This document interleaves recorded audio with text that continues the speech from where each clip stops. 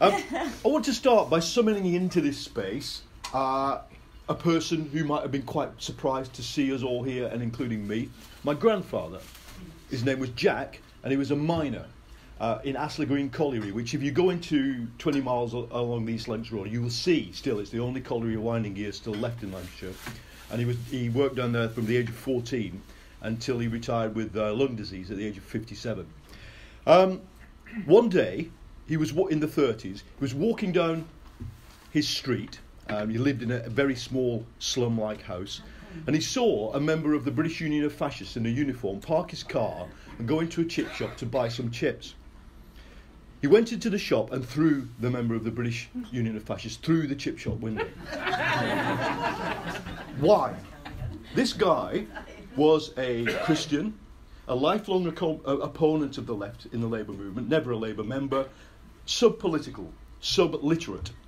But he understood that all the strength that came to him and his community and his workplace, which largely was consisted of excluding people, excluding bosses, throwing stones at people you didn't recognise in the street.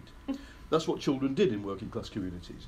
Um, of setting an agenda in the coal mine so that new people were not brought in to undermine wages. He understood, his generation understood, that all of that strength could so easily be turned against them if it were turned against Jews, ethnic minorities, communists, though he didn't agree with communism.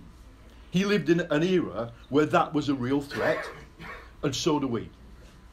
I've been privileged to, because I'm reviewing it, to see um, Paul Greengrass's new film about the Anders Breivik massacre on uh, the island of Utoya of, of 69 of our comrades, the Norwegian Labour Party. Um, and came out of that film very sad. It's a very sad and moving film, and wanting to smash fascism. Uh, and both of those emotions are logical, because we we do face, face a, a, a real threat now, and the threat is many of these far right groups in, in Europe and America are not fascist, but the problem is they don't need fascism to achieve what they achieved in the 30s, because people like my granddad no longer exist. They needed fascism to smash the most organised, the most politically conscious generation, the working class in its 200 year history.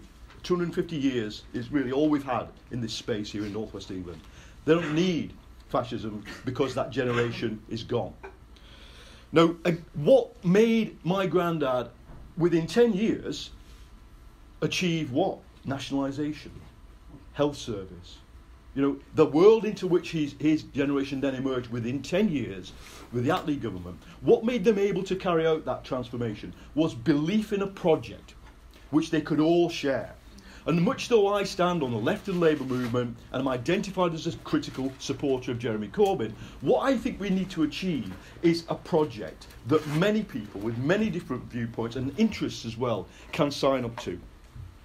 And I don't call that project socialism, or you may feel free to do so. And I certainly do not call it communism because I think the negative connotations. I've spent half a year travelling from Poland, Croatia, East Germany. Sorry, much though what I'm about to outline would, would look like what Marx originally thought by communism, I just don't think it's helpful to use the word.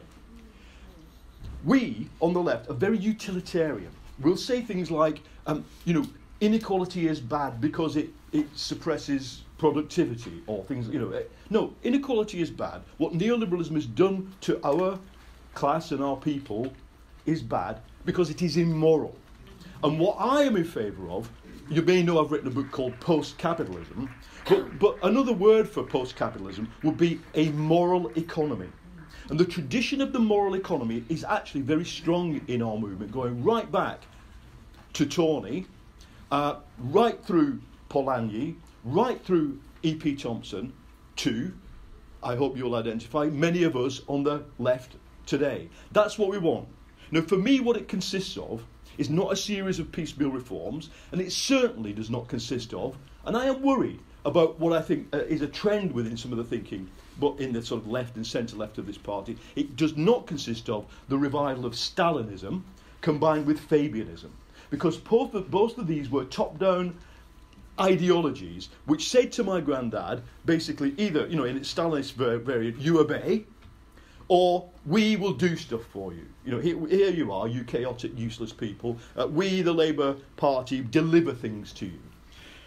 For me, the project of a moral economy, a transition not simply beyond the neoliberal model of capitalism, but in this century beyond capitalism itself, involves just doing four simple things. The first one is a no brainer. We stop climate change. And we stop climate change, I'm sorry to some of my comrades of the trade union movement who find it difficult, by stopping extracting and using carbon. That's how we do it. And we make changes to the economy in that way. The second thing is, under, under acknowledged inside this movement, we stop depleting the resources of the planet.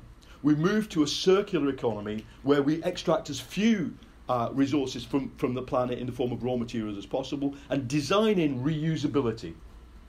The third thing is we move to a highly automated, low work economy. Who's that a challenge to? The entire Marxist influenced, right wing labour influenced, trade union influenced tradition that sees work or socialism as a utopia based on work. As the French Marxist André Gorz says, we have to leave behind the idea of a, so, of a utopia based on work because it, there won't be enough work for us to do. High automation, low work, what does that mean? That means we have to rearrange the social relations of society to accommodate that, to make to move some of the activities we do beyond the market and beyond even the state provision, which is always paid for by the market being taxed. We have to move to a peer-to-peer economy. We have to move to uh, unmanaged, unowned forms of economics that are very well pioneered, both in Europe and America, both in you know, open source software or in, in the in the you know just simply in in the the social economy movements in Scandinavia and, and Germany. We can make out of this a synthesis, and I will finish on this. My granddad, you know, worked in a mine. You know, it, it, the, the form of exploitation that that that he ex, how did rich people get rich from him was through his labour. How do rich people get rich from us? How do they extract a surplus? is not only through our labour, even at this stage of capitalism. It is through what the Italian Marxist Mario Tronti called the social factory. The capitalist earning the most from you is the person who owns your credit card debt, 18%. The capitalist earning the most from poor people here on Merseyside is the shop that sells you a fridge at 1000% interest. Compared to that, the average 10% return on equity of, of, a, of, a, of a mature business, say like BMW or Airbus, is puny. Who, you, even Airbus and BMW are ultimately the exploited by the finance system. So what do we need to do? See, to my granddad's generation, it was clear who the bosses were. You see their car, you trash it secretly. That's what you do. you can't see your, the exploiter who makes the money out of you. That's it, the money is going straight to the Cayman Islands. It's good. Uh, the, all these buildings in Liverpool owned by Chinese or Hong Kong or Indian or Saudi, you know, property companies. That's who's exploiting you, and therefore you have to be intelligent in a way that that wasn't such a problem. A big they didn't have to be literate, really, even to be a socialist in, in, in the 30s. It helped. But there's an advantage. And I can't think of a better way of putting it than the distinctly non Labour Party uh, people who wrote uh, The Coming Insurrection in 2007, the, the, this Committee of Anarchists. And it said this Our grandfathers had the factory space in which to find each other, work out who the scabs were, and overcome their resistance. We have the whole of society. The society is our factory floor, and this is what makes it possible for our movement to be hegemonic. Yes, to reach beyond workers, to be, reach beyond the factory, and, and for Labour to be a, not simply a party but a social movement. And that is the vision, in seven or eight minutes, the, the clearest vision I could think of, of the kind of movement we could build to honour, not, not only honour what our grandfathers built, but also to defend what they built in the here and now, which is what is left of the welfare state, what is left of dem- democracy, and what is left of internationalism and global solidarity. Thank you.